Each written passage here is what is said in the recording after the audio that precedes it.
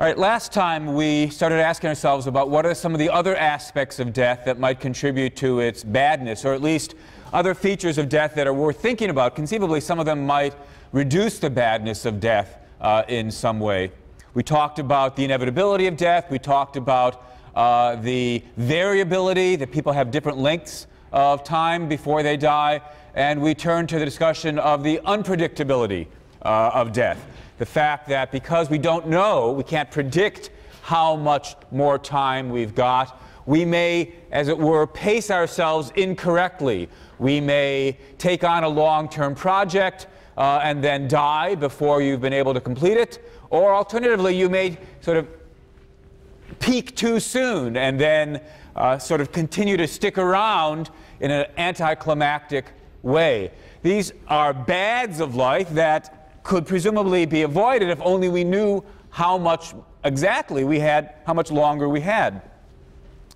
On the other hand, we have to ask ourselves, and this is the question that I left us with last time, whether it would really, all things considered, be better to know how much time you had. After all, if you knew, suppose we had the, the, the birthmarks that told you when you were going to die, if you had that kind of a birthmark, you would face your entire life with the burden of knowing I've got, you know, 48 years left, 47 years left, 50 uh, years left, you know, I should have been counting down, 35, 30, 25, and, and so forth. Many of us would find that, uh, uh, well, as they say, a burden something hanging constantly over us, interfering with our ability to enjoy life. Suppose that there were some sort of genetic marker, uh, and although we didn't have a tattoo that you would just have to look at, but you could have genetic counseling, have the right kind of D- have your DNA examined, and you could tell if you had the DNA testing how much time you had left. Would you want to get that testing done? Now, that's of course science fiction, and I presume it's going to stay science fiction. Though we're on the cusp of having something at least approximating that as we learn more and more about the various genes that carry uh, various diseases, uh, we, more and more of us face the question of whether or not we want to get tested for those diseases. Suppose there was a test, indeed, what occasionally reads in the newspaper about this sort of thing, where you can get tested for such and such a disease. You might know already that you've got a 50% chance of having it, but you don't know whether you yourself have it. If you do have it, you know, the disease will always have onset by age 40, 50, or what have you. Would you want to have that kind of information? Closely related question. If you did know how much time you had left, how would you act differently from what you're doing now? Would it, would it focus your attention on making sure you did the things that were most important to you? And it's worth in, uh, sort of a useful test for asking yourself what are the things you most value in life to ask what would you choose to do if you knew you had you know, five years, ten years, what have you? There's an old uh, Saturday, Night, Saturday Night Live routine where uh, uh, one of the actors is in the doctor's office and the, and the uh, doctor gives him the very sad news that he's got two minutes left to live. Uh, and he says, I'm going to pack a lifetime of enjoyment into those, those two minutes. And then, of course, the, point of the skit is he presses the down button on the elevator, and the minute and a half goes by while he's waiting for the elevator to come. If you knew you had a year left or two years left, what would you do with that time? Would you be in school? Would you travel? Would you spend more time hanging out with your friends? A, a very uh, for me, extremely striking example of this question occurred in this very class. There was a student in this class some years ago who was dying, and he knew that he was dying. He'd been diagnosed with, if I recall correctly, cancer uh, as a freshman, and his doctor had told him that he pretty much had no chance of recovery and indeed had only a couple more years to live. Faced with that question, he had to ask himself, well, what should I do with my remaining years? It was astonishing enough that somebody, but perhaps understandable, that somebody in that situation would decide to take a class on death and then have himself sort of submit himself to my getting up here week after week talking about how there's no soul, there's no prospect for an afterlife, uh, it's a good thing that we're all going to die. But faced with the question of what should he do, what did he want to do with his remaining couple of years, what he decided he wanted to do was finish his Yale degree. Thought he'd set himself the goal of graduating college before he died. And he was taking this class, second semester of his senior year. At least he was taking it until spring break. By spring break, he'd gotten sufficiently sick that his doctor basically said, You can't continue in school anymore. You've got to go home. Basically, you've got to go home to die. Uh, and indeed, he uh, got progressively and then rapidly deteriorated at that point. This, the faculty members who were uh, teaching his classes that semester then all faced the question posed to them by the administration based on the work he's done so far this semester, has he, what kind of grade uh, do you, are you prepared to give him? Because depending on which of his classes he passed and which of his classes he failed, the question was going to be, you know, was he going to graduate or not? In fact, of course, uh, he did manage to graduate, and Yale, to its, uh, I think, real uh, glory and credit, sent a member of the administration down to his deathbed to award him uh, his degree before he passed away. So, as I say, it's a very striking story. I'm not sure how many of us would decide the last thing we wanted to do with our remaining years is to spend it in college. Well, what is it that you'd want to do? And again, to move back and ask ourselves the larger question would knowing how much time you have be something that would allow you to actually embrace those choices, or would it instead just be a burden? Well, that's the kind of question we have to face when we think about the fact that we don't know how much time we've got. Is that something that increases the badness of death, or does it reduce its significance somewhat? Here's another feature in addition to the inevitability, in addition to the variability, in addition to the unpredictability, there's the fact that death is, as I like to think of it, ubiquitous. I don't just mean the fact that people are dying all around us, but I mean rather you yourself could die at any time. There's never any getting away from the possibility that you'll die now. Even if we didn't have unpredictability, I mean, rather, even if we had unpredictability, it wouldn't necessarily follow that death was pervasive in this way. The, the point I've got in mind here is this even when you think you're perfectly safe, you could, of course, die of a stroke. You could die of a heart attack. Even somebody's young could have an aneurysm. Or, one of my favorite examples, you could be sitting in your, you sort of read this sort of thing in the, in the uh, newspaper periodically. You could be sitting in your living room when suddenly an airplane crashes into your house, killing you. These sorts of things happen. You thought you were safe, you were watching reruns on television, the next minute, you're dead. The fact that you could die and you don't know when you're going to die doesn't yet entail that you could die at any minute, at any moment. But in fact, that's true of us as well. Again, another example close to my heart. I remember before I taught here, I used to teach at the University of Illinois at Chicago, and once I was driving down the highway and a car pulled in without looking uh, and clipped my car. Uh, and caused my car, you know, so pulled in from the entrance, caused my car to go careening across three lanes of traffic, spinning out of control. And I remember quite clearly thinking to myself as that happened, the whole thing lasted only a few moments, but I remember thinking quite clearly, I'm going to die. Uh, now, as it happens, I didn't die. I walked away from the accident, uh, and the damage to my car was rather minimal, but it could have happened like that. Death is, the possibility of death is ubiquitous, it's pervasive. We have to ask ourselves then, does this make things worse? It certainly feels, to my mind, as though it's an extra bad about the nature of death. It would be nice to get a breather. Imagine, if you will, that there were certain locations, certain vacation spots where you, as long as you were there, you couldn't die.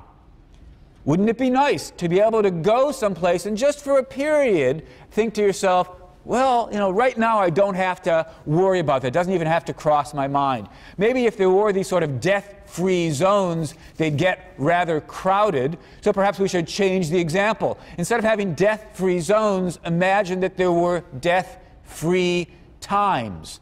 Just suppose, for whatever reason, nobody could die between 12 and 1. You could just sort of put it out of your mind. Wouldn't that be nice? All right, 1 o'clock, sort of you take the mantle back on, but wouldn't it be nice to just have a certain period of time every day when you didn't have to even have it be so much as a remote possibility? Or suppose there were certain death free activities.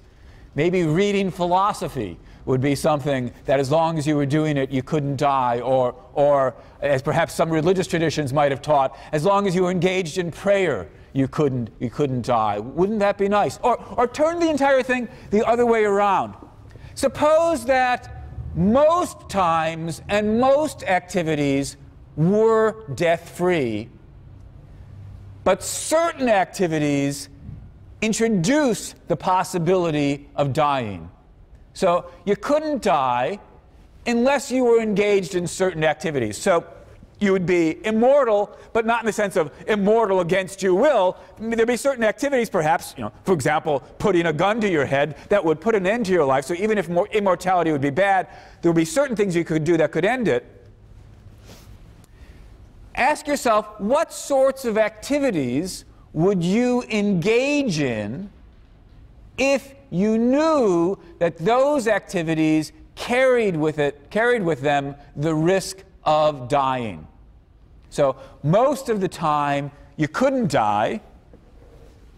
What things would be so important to you that you'd be willing to suddenly risk death for the sake of doing those things you like art. Is art important enough to you uh, that you'd be prepared to watch, look at a masterpiece if you knew that while you were enjoying it, you could die, but that wouldn't happen otherwise? Is sex great enough that you'd be prepared to run the risk of dying while you were engaged in sex? Again, it's a nice lens for asking yourself what are the things that are most valuable to you by asking which of them are so valuable you'd be prepared to do them even if they would introduce what isn't otherwise there, namely the risk of death. Now, in posing the question that way, I've been assuming that these are things you do despite the fact that they run the risk of death. I suppose there's a further question we have to ask. Are there things that would be worth doing precisely because of the fact that they introduce the risk of death? Now, I've got to admit that you know, when I pose that question, that sounds rather bizarre, at least you know, putting aside the possibility that we've now lived our 100,000 years and have exhausted all that life's got to offer for us. Uh, certainly, to engage in activities now, while life still has so much more to offer, to engage in activities now where precisely for the chance of dying, that strikes me as bizarre. And yet, it seems to me that there are many activities, if not many, at least several activities that people do precisely for that reason. For example, let, let me tell you something I know this is going to shock you. Did you know there are people who jump out of airplanes?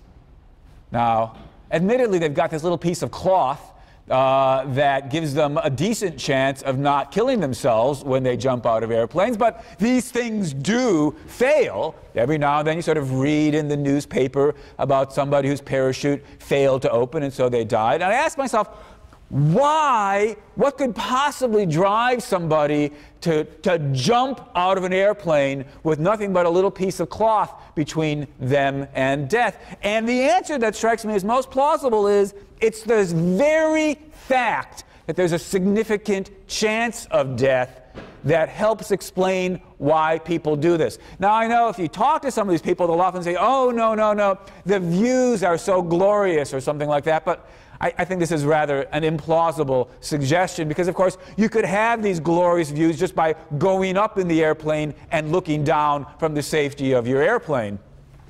Part of the thrill has got to be, or so it seems to me, part of the thrill has got to be the very fact that they now have an increased risk of death. The chance of dying is part of what drives somebody to jump out of an airplane.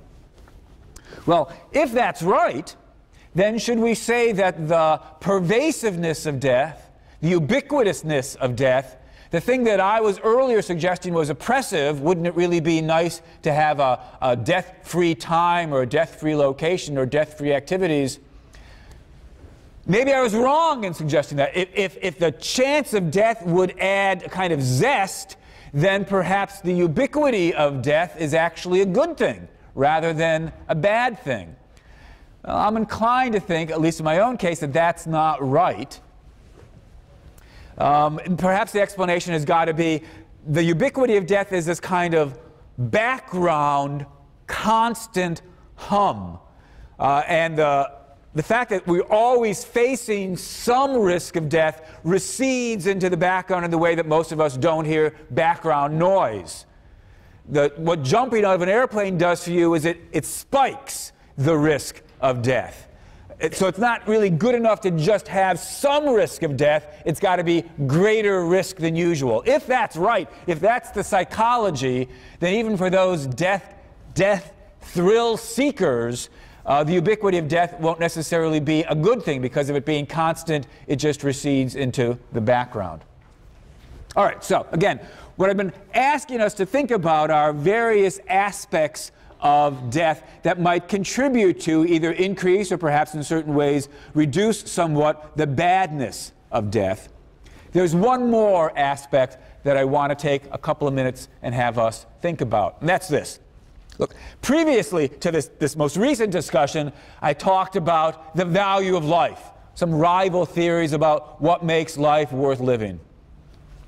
And for the last lecture or so, I've been talking about, in addition to the deprivation account, the additional things that contribute to the badness of death. So you might think, well, what about the human condition as a whole? What about the fact that it's not just that we live, or for that matter, it's not just that we die. What's true about humans is that we live and then we die. That's the human condition. Life followed by death. We might ask, what's the value of that entire combination? Now, the most natural thing to suggest would be well, you know, you get clear on your, your favorite theory about the value of life, whatever that is. You get clear about the kinds of questions we've just been asking about the badness of death, whatever that is what's the overall assessment of the human condition, you might think, well, that's just a matter of adding up the goodness of life and subtracting the badness of death, or summing it, whatever it comes to.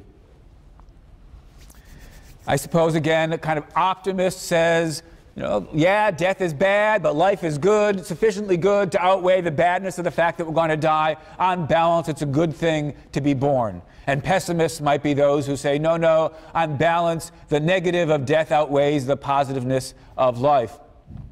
But I want to pause for a moment and, and note that this assumption that the way to think about the value of the combination is just a matter of adding the, the goodness of life and the badness of death and just summing them that way, that may not be right. Because sometimes the value of a combination is different than the value you would get by just thinking about each one of the parts in isolation and then adding them up. A kind of addition approach to values of wholes may not always be correct. Here's a nice, simple example to make that point. My two favorite foods in the world are probably pizza on the one hand and chocolate on the other. I know I've shared my love of chocolate with you before. I don't recall having shared my love of pizza with you before, but there it is. Two favorite things I love. Love pizza, delicious. Love chocolate, delicious. Take these two delicious things and combine them into a chocolate covered pizza. Oh my God, the whole idea just sounds disgusting. And it is, I take it, disgusting. But you wouldn't notice the disgustingness if you just thought about the value of pizza in isolation and the value of chocolate in isolation. The value of chocolate covered pizza is not just a matter of summing up the value of the parts in, taken in isolation. You've got to think about what we might dub the interaction effects. So let's ask ourselves are there any interaction effects when we talk about the human condition that it's life followed by death? We've thought about the value of life in isolation. We've been, in effect, thinking about the value of death in isolation. Does the fact that death follows life, does that produce any interaction effects between the two, which need to be added into our formula, added into the mix as well? Well, there's obviously, I suppose, two possibilities. Well, really three. Possibility number one is no, doesn't make any difference. An interesting possibility. More interestingly, two remaining possibilities yeah, there's actually some ways in which the combination ends up becoming worse. The interaction effects make things even worse, and we can't overlook those, those negative interaction effects. Also, the possibility that there might be some positive interaction effects. Let me start briefly by mentioning a possibility for a positive interaction effect. Because of the fact that you're going to die, obviously enough, it's not just that you'll get whatever life you get, but there's a finite amount of life that you're going to get. Life is a scarce resource. It's precious. And we might be attracted to the thought that the value of life is increased by its very preciousness. There's a kind of aspect of value for many of us where we feel that something's especially valuable if it won't endure, if it's fragile, or if it's rare. This can enhance the value of something. And so, arguably, the fact that life is precious, that it won't endure, could actually increase its value for us. There's a short story by the science fiction writer Orson Scott Card, uh, where the basic point of the story is that of all the life forms in the universe, we here on earth are the only ones that are mortal. And because of this, we are the envy of the rest of the universe. It's not so much that immortality, what the rest of them have, is unattractive or boring. It's perfectly fine, but they envy us for our finite lifespans because what we've got and they don't have is something that's sort of for each individual rare, something that's not lasting, something that's precious in that way. All right, it's a possibility. So it's, it's possible that the very fact that we're going to die sort of has, causes an interaction effect with our life, so as there's, a, there's an upside to it. It makes our life fragile, ephemeral, and as a result of that, more precious. But it's also possible, actually compatible with accepting that fact, there are two additional possibilities, that there might be some negative interaction effects. It could be that the, in thinking about the nature of the combination, we're led to see that in certain ways, the, the combination, the, the interaction effects are, are negative, are bad ones. Well, here's, here's two possibilities for that thought. First possibility, I, I think of under the, the, the heading, a taste is just a tease. It's, it's as though we live life for a while, getting a feel for all the wonderful things life could offer us, and then a moment later, as it were, it's snatched away from us. It, it's sort of adding insult to injury that we, we, we, that we're offered just a whip. It's as though somebody brought in this delicious meal to a hungry, before a hungry person, allowed them to see what it looked like, allowed them to smell the, you know, the, the delicious aromas, perhaps gave them just one little tiny forkful to see just how beautifully delicious the food was, and then they snatched the whole thing away. You can imagine somebody who says, Look, it would be better never to have had the taste at all than to have the taste and then not be allowed to have the entire meal. That's something that you might not notice if you just focus on the intrinsic nature of the taste. After all, the intrinsic nature of the taste was positive. Or if you just focused on the intrinsic character of the not having a meal. After all, not having a meal is just, you know, an absence of a certain experience. To capture what's excruciatingly undesirable about the two, you need to think about the two in combination. It's an interaction effect. And one might think, look, this, this is one of the, the negative things about the human condition, that we get a taste of life, nothing more, before it's snatched away. That's one possibility. A second possible thought that comes to mind for me in thinking about the negative interaction effects, I call under the, the, the title, I think about under the title, How the Noble Have Fallen. I mean, right now, there's something amazing about us. We are people in the universe, we, well, we who knows what is out there in the universe, but at least in Earth, on Earth, we may well be the only people there are. Uh, who knows? Maybe dolphins or, or, or certain some of the great apes. But at the very rate, it's, it's a rather select club. We are, as I said, you know, early in the semester when I said I'm a physicalist, I believe that people are just machines, but we're not just any old machine. We're amazing machines. We're able to love. We're able to write poetry. We're able to think about the farthest reaches of the universe and ask what our place is in the universe. People are amazing. And we end up rotting. We end up corpses. There, there's something, for many of us, there's something horrifying about the thought that something as amazing as us, as exalted and valuable as us, could end up something as lowly and unimportant as a piece of rotting flesh. It, again, think about it, you know, uh, uh I, I, the image here that comes to mind for me is one of these deposed kings who ends up waiting on uh, tables to make a living, you know, in New York. And you, and, and it's, you might think, all right, the life of a waiter is not the worst thing in the world, but there's extra, again, insult to injury when the person's got to remember that he used to be something extraordinary, a ruler. Again, if you just thought about life as a ruler, well, pretty good thinking about it in isolation. Life as a waiter, not so bad thinking about it in isolation. To see the nature of the, of the problem, you've got to think about the fact that it's a combination package. There's something especially insulting about having gone from king to waiter, how the mighty have fallen. And that fate is waiting for all of us. It's a fact about the human condition that the amazing things we are don't stay amazing. We turn into pieces of rotting flesh decaying. So, two possible negative effects. The taste is just a tease. The how the noble have fallen on the one hand. One possible positive effect, uh, the sort of extra preciousness of life. I'm not quite sure where, on balance, we should say uh, how these things play out.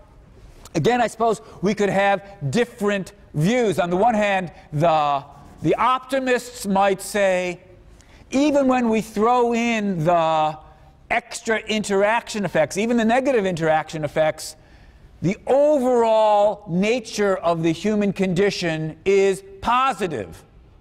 So that it's a good thing to be born, even though your life is going to be followed by death. And against that, we could have the, the pessimists who say, the, the negative side, especially once we throw in the negative interaction effects, the negative side is are so great that it would be better never to have been born at all. That's the pessimist view. Given that we're going to die, this, this fact seeps back in and poisons the nature of life, or perhaps poisons the nature of the, of the, of the whole, life followed by death, so that on balance, the whole thing's negative. Better to have not had any of it. Better to have not been born at all, say the pessimists, than to have this combination package of life followed by death. Now, for myself, I'm sufficiently optimistic that I'm inclined to think life's wonderful. The negative combination effects that I was talking about are certainly there, but on balance, I think the human condition for most of us is a good one. It's better to have been born than never to have, even though that's followed by death, than never to have been born at all. But I do want to emphasize the point that even if we were to accept the pessimist's conclusion that it would be better never to have been born at all, it doesn't follow, at least doesn't follow without further argument, that the right response to the realization, if it is the correct realization, that it would be better never to have been born at all, doesn't follow that the right response is to commit suicide. It's a tempting thought, right, to go philosophically from life's so bad, given the nature of the human condition, life followed by death, that better to never have had any of it than to have just had a taste and a tease and so forth. But it's, it's, a tempting philosophical thought to say, once I've shown it's better never to have been born, it follows that suicide is the appropriate response. But in fact, as a matter of logic, that doesn't follow at all. Because if you think about it, Suicide doesn't change the fundamental nature of the human condition life followed by death. It's not as though if you kill yourself, you somehow bring it about that you've never been born at all. It's still the case that if there's something horrible about having just a taste, well, indeed, if you commit suicide, you've made it an even shorter taste. If there's something sort of degrading or un- unnoble about uh, being a person who's going to become a corpse, committing suicide doesn't alter that fundamental fact either. It just makes the insult come sooner. So even if we were to agree with the pessimists that it would be better never to have been born at all, uh, you know, as, as the old joke goes, show me one person in a thousand who's so lucky, right? We have all been born. And from the fact, even if we were to agree with it, that it would have been better if we hadn't been born, Instead of feeling sorry for unborn Larry, perhaps we should envy unborn Larry. That's what the pessimists say. Even if that were true, it wouldn't follow that suicide was an appropriate response. That doesn't mean, of course, that suicide isn't ever an appropriate response. You know, we're, we're coming on towards the end of the semester, and the last topic we'll be talking about is indeed the topic of suicide. When, if ever, is suicide an appropriate rational or moral response to one's situation. Let's hold off on thinking about that question a bit further. Before we get to suicide, you might say, the, the, the question that's going to entertain us for the remaining few weeks is this How should one live in light of the facts about death that I've been laying out in the semester up to this point? How should we live in light of the facts about death. And one possible response, the last one we'll look at, is what you should do at least sometimes is kill yourself. Come to that. Well, we're going to spend the, the next couple of weeks asking ourselves different aspects of the question what should our response be to the fact of our death and the specific features of death and the nature of death that we've been exploring? But the very first question I suppose we really need to ask is this Should we be thinking about all of this at all? Well, I realize that for you guys, it's too late right? It's sort of late in the day for students who have been through the better part of a semester uh, thinking about the nature of death to argue maybe, you know, it wasn't such a good idea for you to take this class in the first place. But you know, as, as theorists, we could be interested in the theoretical possibility that the right response is to not think about the facts of death at all. Look, in principle, in principle, I suppose, there's three different reactions. So, so I, I, make various claims of the sort that I've been making about, well, look, you know, we're just physical objects. When these objects break, we cease to exist the objects don't get put back together, you know, and so forth and so on. One possibility, of course, is simply to disagree with me about the facts. And so you, of course, if you do disagree, I think you're mistaken, so I'll think of you as denying the facts, but all right, that's a possibility. Another possibility, the one I'll turn to a little bit later, is admit the facts and live accordingly. Of course, we haven't yet asked ourselves, how should you live if you recognize and take into account those facts. That's the question we'll turn to. But there's the, there's the middle possibility, which is not so much think about them and deny them, not so much think about them, accept them, and act accordingly, but simply don't think about them. Maybe the best response to the facts of death are just put it out of your mind. Don't give it any thought at all. Now, on the one hand, you might think, that can't possibly be the right response, the appropriate response. And after all, how can it be appropriate to disregard, to put out of your mind facts? Well, that all sounds very nice, but I think that claim's got to just be mistaken. There's nothing unacceptable or inappropriate or misguided about not thinking about all sorts of facts that you might have learned at some point or the other. Here's my favorite example of stupid facts I was forced to learn when I was younger state capitals. Right? I've gotten pretty far in my life, and as far as I can tell, I've never, ever, ever had to remember the capitals of the 50 states. So I just don't think about it. Pretty much, I think about it only once a year when I'm giving this very lecture. I start asking, how many state capitals can I remember? And the answer is really not all that many of them. Not thinking about those facts that I knew at one point, just not all that objectionable. So the mere fact, if it is a fact, you know, suppose the facts about life and death are as I've described them, until we say something more, it's not clear that we shouldn't just, all right, note it, store it away, and forget about it, just like the facts about the state capitals. That seems odd. That seems misguided. But why? What is it about the, the facts about life and death that seem to make it misguided to think we should just put them aside and pay no attention to them? Presumably because we're, we're led to the thought, we're attracted to the thought that the nature of death, the facts about death, whatever they are, should have an impact on how we live. The appropriate way to live gets shaped, at least in part, by the fact that we're, that we're going to die, that we won't be around forever. If that's right, then it seems as though there'd be something irrational and inappropriate about simply disregarding those facts. Let me, let me tell you two stories that might, uh, well, look, before I tell you the stories, here's, here's the other side.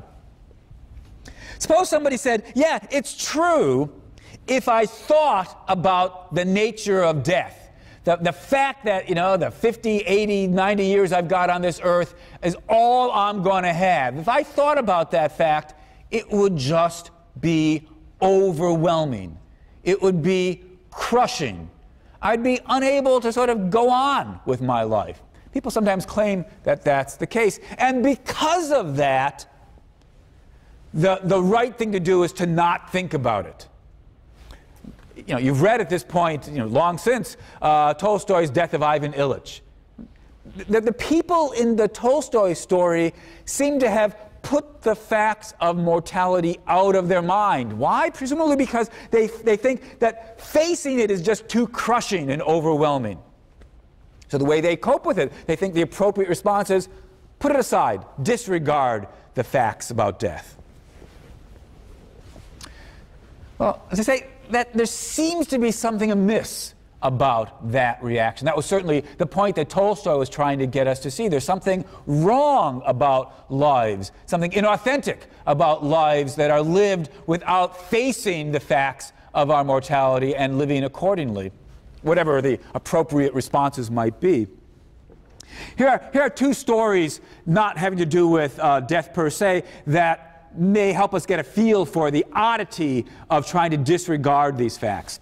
Suppose that you're on a hot date or about to go out on a hot date with Peggy Sue, or, or, or depending on your preferences, Billy Bob. Uh, and, and your roommate holds up an envelope and says, Written in this envelope are certain facts about Peggy Sue or, or Billy Bob. I, am not going to tell you what these facts are yet. They're in the envelope, but I'll give you the envelope and you can open it up and, and read them. But I do want to tell you this, this one thing.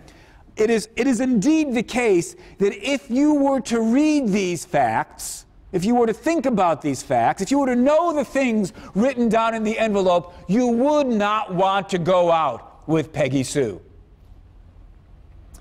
And you say to yourself, well, let's see, right now I want to go out with Peggy Sue, but if I knew these true, it's not that you think, oh, your roommate has made it up, that these are lies, these are slander. You really believe, and, you, and it is in fact the case, that the things written down in the envelope are true. And so you know that if only you were to read these things in the envelope, you would change your mind and no longer want to go out with her. And so what you say is, don't show me the envelope. That seems odd doesn't seem like it makes sense. If there are things that would change your mind and you know that they would change your mind about your behavior, how can it be rational to disregard them? Here's another story. You're about to drink a milkshake, and your roommate comes rushing in and says, I've got the lab report I, I, I, had some of my suspicions about the milkshake, and so I took a sample, I rushed it down to the lab. I've got the lab report. You're about to drink it, right? Because you're thirsty, it's a hot day, you love milkshakes, and your roommate says, Inside the envelope are facts about this milkshake that, if I, I promise you, it is indeed the case. If you the, knew these facts, you would not drink the milkshake anymore. And you say, Oh, thank God, don't open the envelope. And you drink the milkshake, disregarding the facts. That seems inappropriate. Well, if it really was true, then, that if only we faced the facts about our mortality, that we would live life rather differently, how could it be reasonable for us to disregard those facts? Well, that's the puzzle. Uh, maybe that's the puzzle. Maybe we shouldn't call it a puzzle at all. Maybe the answer is that just shows the disregard option's not really all that reputable. What we either have to do is deny the claims I've made about the nature of death, or else go on to ask, supposing they are true, how should we live in light of them? Maybe the disregard option just is one that we can't actually take on as a intellectually acceptable alternative. But I suspect that that's probably a little bit too quick. Because really, there are two different ways in which facts could influence our behavior. And if we're not careful, we'll disregard this distinction, even though I think it's an important one. Here's the two ways. On the one hand, it could be that certain facts, if you knew them, would cause you to behave differently without actually giving you any reason to behave differently. That's possibility number one. Possibility number two is the facts change your behavior by giving you a reason to behave differently. Let me show you an example of the first possibility, because that's the one I think we may be overlooking when we assume that disregarding can't ever make any sense. So there you are, kissing, making out with Peggy Sue or Billy Bob, whoever it is, and your roommate bursts in and says, I have in the envelope certain facts such that if you were to think about them, you would no longer want to kiss Peggy Sue, Billy Bob. Let me just tell you what the facts in the envelope are. There are certain facts about the nature of Peggy Sue's digestive system. Now, while you know you're, you're making out after having had dinner, and while you're sitting there making out, food is making its way down Peggy Sue's digestive tract, being turned into shit. And eventually it's going to be excreted. And if you started picturing to yourself uh, the feces uh, inside uh, uh, Peggy Sue's digestive tract and the fact that she's eventually going to be wiping the feces off of her behind, you might find it difficult to continue to engage in making out with Peggy Sue. It's not so, now these are just facts, right? I didn't make any of this up, but you know, there you are as I'm talking about them. You're just being grossed out as I describe them. Now, does any of the, do any of these facts about the digestive system make it inappropriate to kiss another human being? Oh, of course not. But for all that, thinking about those facts make it rather difficult while you're thinking about the facts to continue enjoying kissing the person.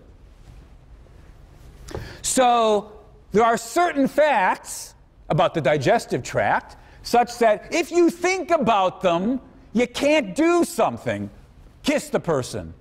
But for all that, it's not because you got any good reason not to kiss the person. It's not that the facts about the human digestive process give you reason not to kiss her. They cause you to change your behavior without giving you any reason to change your behavior.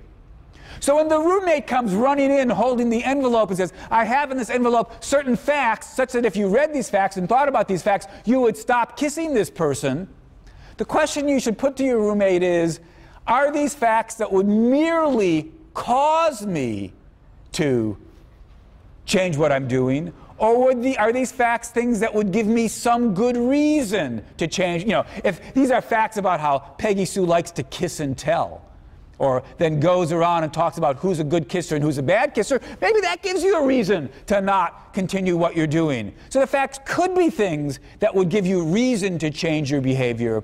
But the mere fact that they would change your behavior doesn't yet tell you whether they're reason generating facts.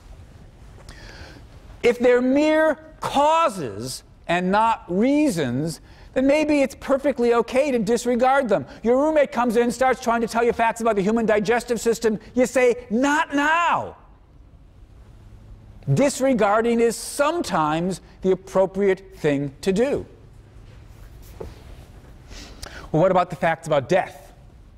Are the facts about death things that it's appropriate to disregard? A bold claim would say yes. A bold claim would say the facts about death, if I thought about them, would change my behavior, but not because it would give me a reason to change my behavior, simply because it would influence my behavior. And given that, we might say, better to not think about them. That would be the bold claim to make at this point.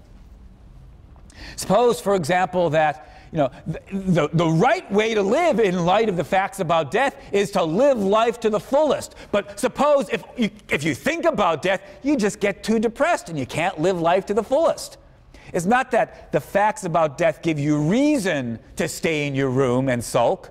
It's just that the facts about death cause you to stay in your room and sulk. If that was the case, then disregarding always disregarding the facts about death might well be the appropriate response.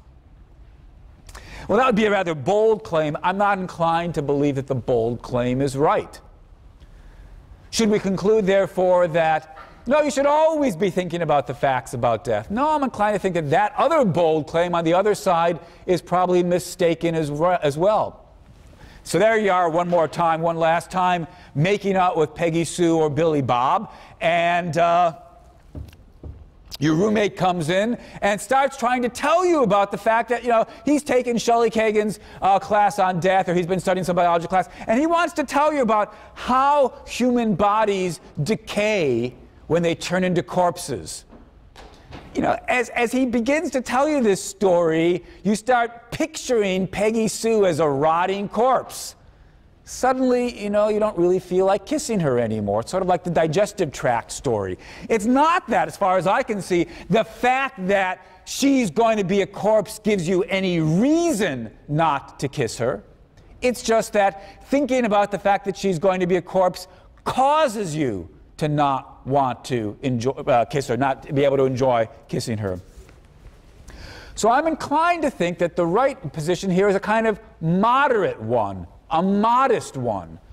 There are times and places for thinking about the facts of death.